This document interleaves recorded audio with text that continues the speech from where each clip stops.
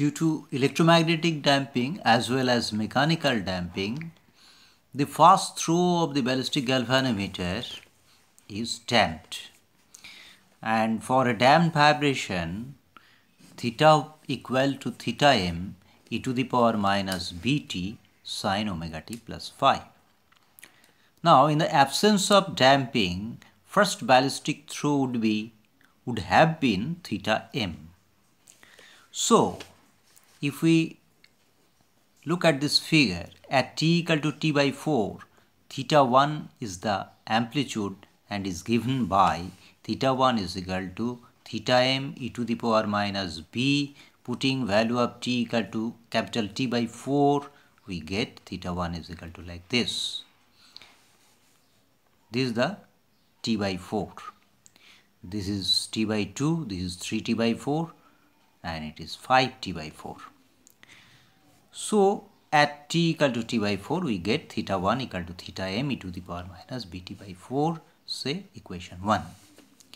Theta 1 is equal to fast ballistic throw on one side of the zero of the scale. This is the zero of the scale, this is the one, this is the one side, this is the other side. Theta 2 second peak throw on the other side. This is theta 1, this is theta 2 in the other side, putting t equal to 3t by 4, we get theta 2 equal to theta m e to the power minus b 3t by 4. So theta 1 by theta 2 is clearly e to the power b t by 2. Theta m cancels out. This gives b t by 2.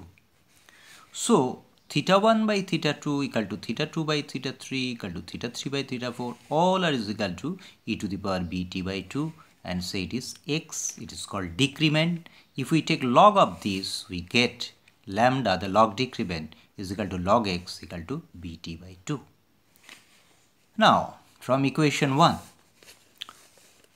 theta 1 is equal to theta m e to the power minus lambda by 2 because bt by 2 is lambda so it is lambda by 2 so theta m by theta 1 is equal to e to the power lambda by 2 then theta m is equal to theta 1 e to the power lambda by 2 look at this equation. Theta m by theta 1 is equal to bt by 4 but the bt by 2 is lambda so it is lambda by 2 so theta m is equal to theta 1 e to the power lambda by 2. Now e to the power lambda by 2 can be expanded as 1 plus lambda by 2 plus lambda square by 8 plus so on. Lambda being small, lambda square by 8 and higher terms can be neglected, leaving theta m equal to theta 1 into 1 plus lambda by 2. So charge, which is c by nh, a constant, into t by 2 pi, into, there was a theta, actual theta is theta 1 into 1 plus lambda by 2 instead of theta m. Theta m is the throw, ballistic throw without damping. But there is a damping, so the corrected formula is q is equal to like this. Again, theta 1 by theta 2 is equal to e to the power bt by 2. So, theta 1 by theta 2 equal to theta by theta 3 is equal to e to the power beta by 2 equal to e to the power lambda, bt by 2 being lambda.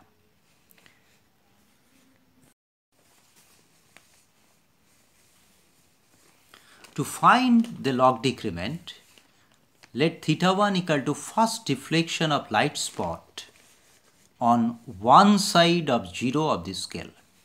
Say this is the 0 of the scale, then theta 1 is deflection on this side of the scale extremement. Similarly, theta 2n plus 1 is the deflection on same side, on the same side as in theta 1. Theta 2n plus 1 is equal to deflection on same side as theta 1 at the end of nth oscillation. This is theta 2n plus 1 say. Then theta 1 by theta 2n plus 1 can be written as theta 1 by theta 2 into theta 2 by theta 3 and so on. Theta 2n by theta 2n plus 1. Theta 2, theta 2 cancels out. Theta 3, theta 3 cancels out. Theta 2n cancels out. Leaving theta 1 by theta 2n plus 1. Now each term is equal to e to the power lambda. In the previous discussion, we have seen theta 1 by theta 2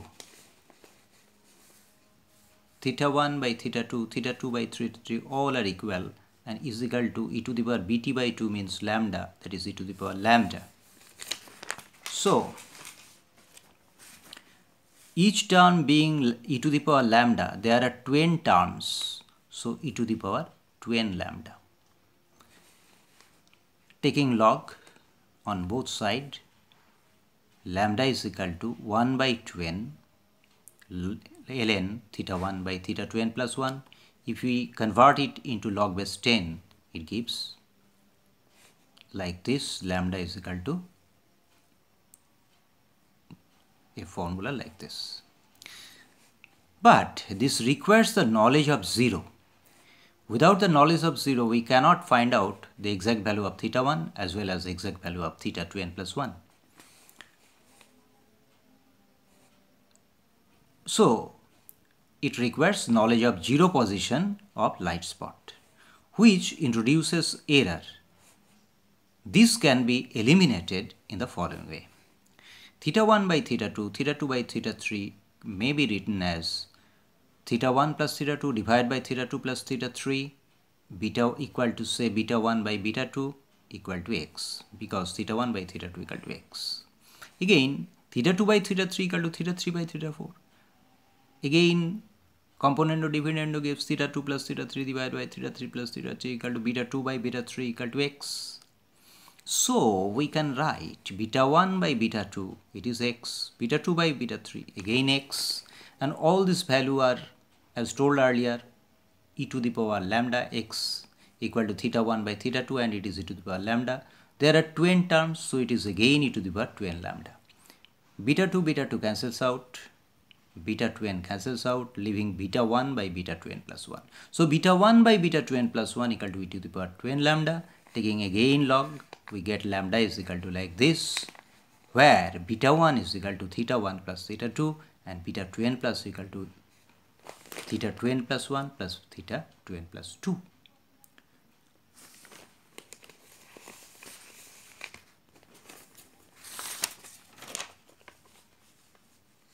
Theta 1 and theta 2 are the positions of the light spot to the extreme left and the right. This is theta 1, this is theta 2 or say this is theta 1 or theta 2. Now,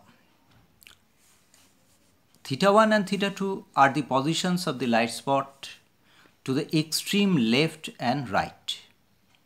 This is theta 1 and this is theta 2 during the first half of the first oscillation. Theta 2n plus 1 and theta 2n plus 2 this is say theta 2n plus 1 this is theta 2n plus 2 are the positions of the light spot to the extreme left and extreme right in during the first half of the n plus 1th oscillation?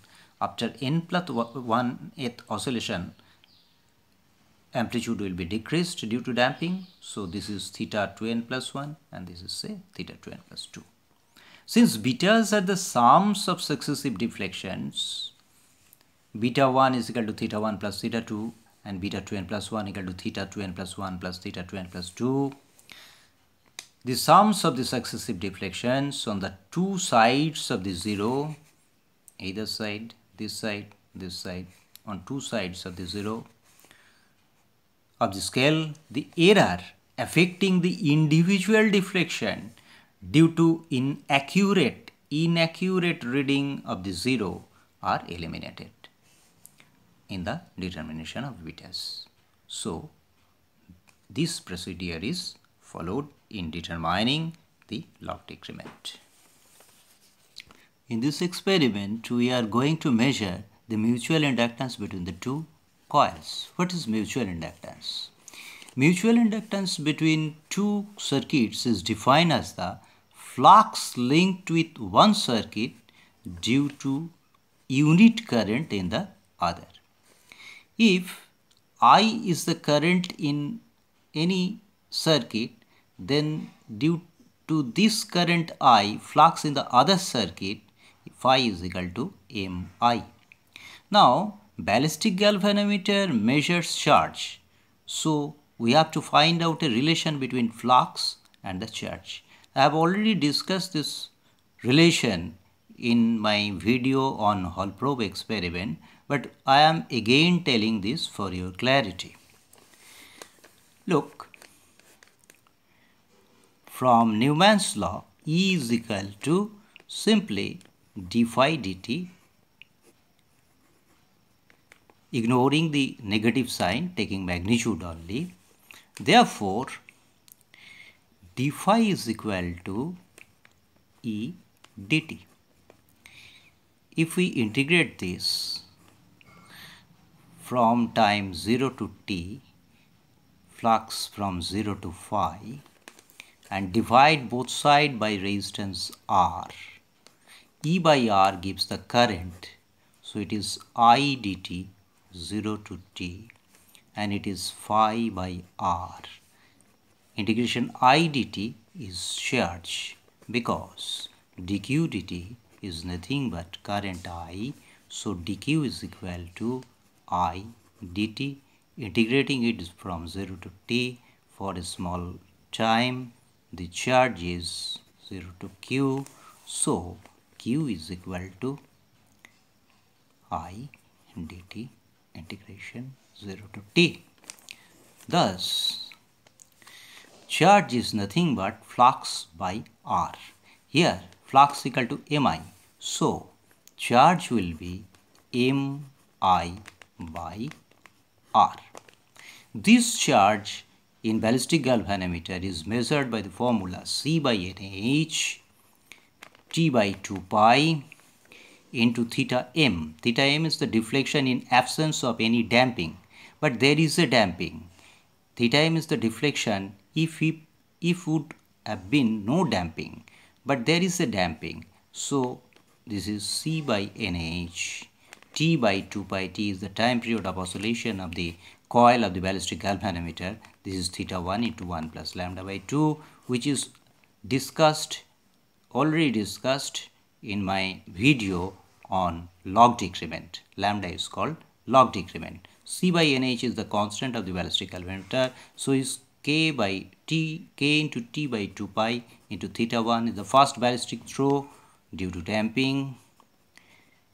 Taking into consideration damping, this is the expression for charge.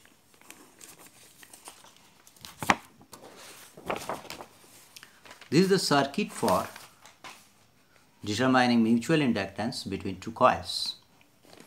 And is our formula.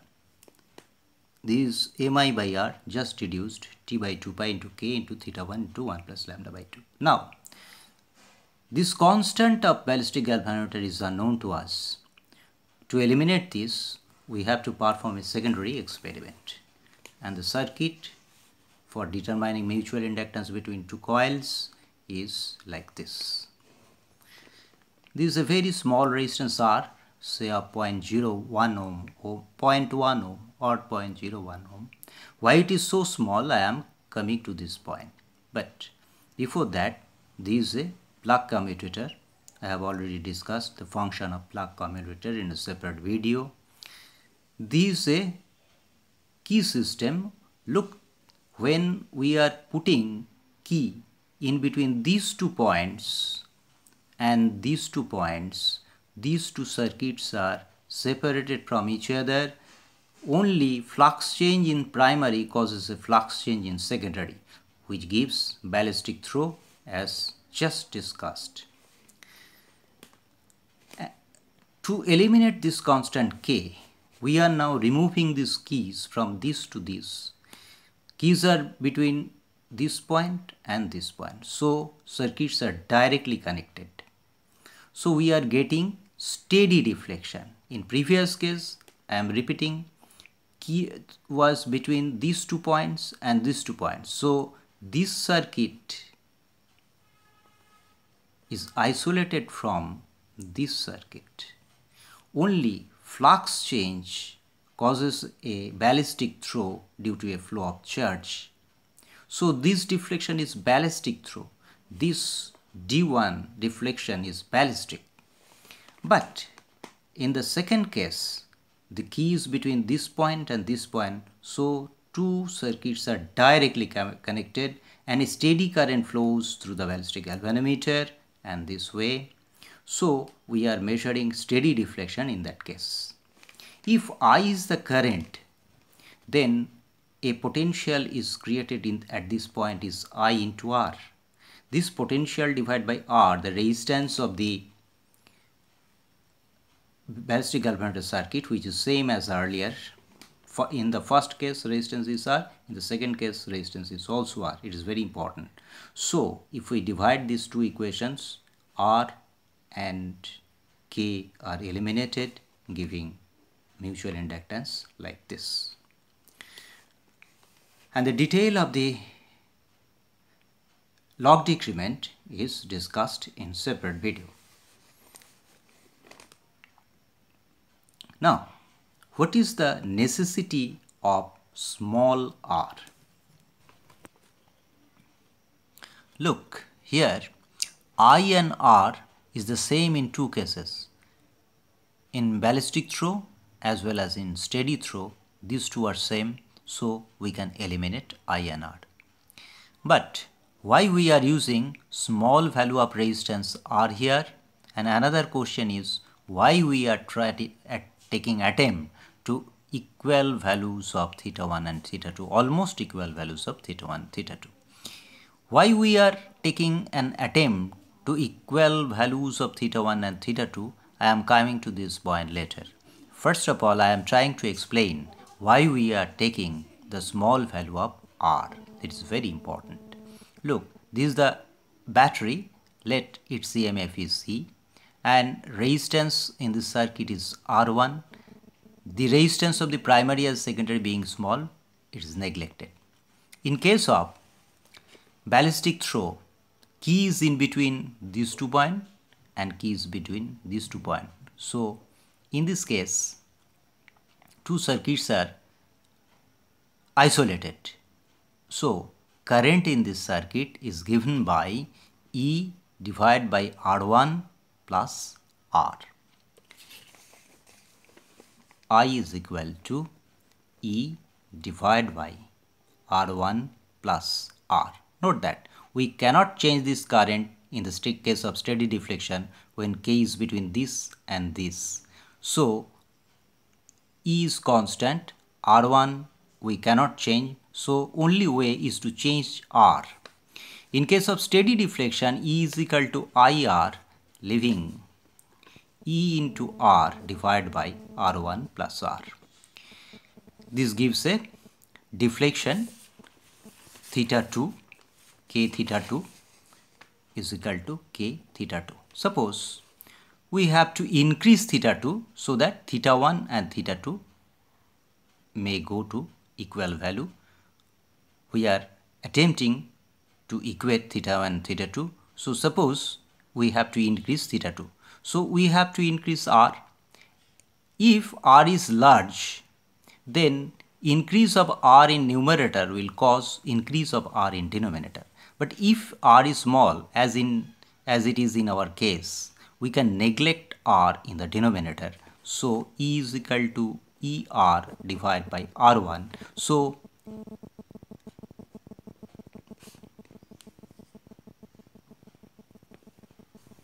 if we instead of small r use E capital R divided by R1 plus capital R and trying to increase theta 2 or decrease theta 2 we have to increase R but R is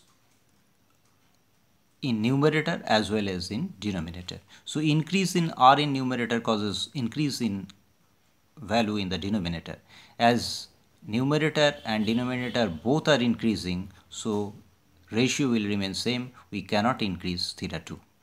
If we try to decrease the value of R, again R is decreased, so ratio remains same. We cannot decrease the value of theta. The only way is to use a small value of resistance so that it can be neglected in the denominator giving like this ER divided by R1. So E and R1 being constant, increase of r will cause increase of theta decrease of r will decrease theta so this is the only way out to increase theta to to a value of theta 1 so that our attempt will be successful now question is that why we are attempting to make the steady deflection d2 and first throw d1 nearly equal. It is because to eliminate as far as possible the error due to non-uniformity of the flux density of the permanent magnet of the galvanometer. There is a permanent magnet inside the ballistic galvanometer which is non-uniform and that very non-uniformity causes some error in finding theta 1 and theta 2 and so m will be inaccurate. To have a correct value of m, we have to make equal theta 1 and theta 2. So our attempt is to make the steady deflection d2 and the first throw almost equal.